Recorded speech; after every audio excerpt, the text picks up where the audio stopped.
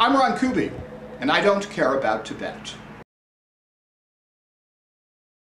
Let's see. Why should we care about Tibet? Well, let's see. We're Americans? What is that word we like to throw around so much? Oh, yeah, freedom? Self determination? Come on, Ron. The Chinese people have been oppressing the Tibetans for hundreds of years. And that's exactly why we should care. The whole world doesn't care, but we as Americans, we should care. So if you want to disagree with me, fine. Disagree all you want. But all I have to say is screw you!